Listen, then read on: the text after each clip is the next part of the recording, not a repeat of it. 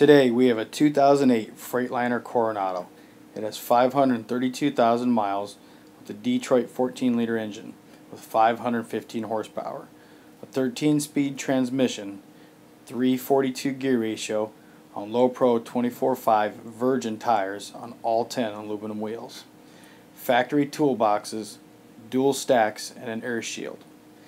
On the interior is loaded up with gauges, a chaparral interior with overhead storage in the front and rear bunk area, and a fridge that will keep all your beverages and food nice and cold.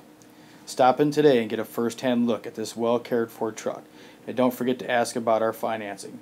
Contact any of our truck center locations for further details regarding this beautiful Coronado at 1 800 777 2440. Have a great day.